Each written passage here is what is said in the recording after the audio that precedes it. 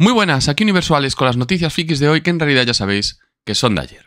Hoy estrenos y esas cosas nada, así que ya tal. En noticias de series, El Señor de la Guerra tendrá secuela con el regreso de Nicolas Cage, al que además se une Bill Skarsgård.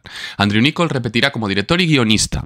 En noticias de series, FX ha anunciado el estreno de la temporada 2 de The Bear, que será el 22 de junio. Fuera de Estados Unidos llegará a Disney Plus, pero más adelante. La CBS ha cancelado East New York y Mentiras Arriesgadas tras una única temporada. Por otro lado, ha salvado SWAT y la ha renovado para una séptima y última temporada. Actualización de estado de series en producción en medio de la huelga de guionistas. Dark Winds ha conseguido terminar su segunda temporada. La Casa del Dragón seguirá con el rodaje de su segunda temporada.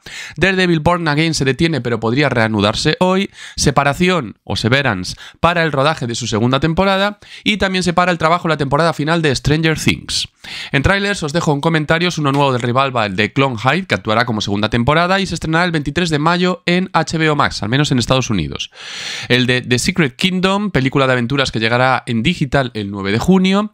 El segundo de I'm a Virgo, serie que debutará en Prime Video el 23 de junio otro de Oppenheimer, lo nuevo de Christopher Nolan, que se estrenará en cines el 21 de julio, el primero de Megalodon 2, La Fosa, que llegará a los cines el 4 de agosto, y os dejo también un tráiler de la nueva serie de Conan el Bárbaro que publicará Titan Comics. Por cierto, feliz día de Goku. Y hasta aquí todo. Nos vemos.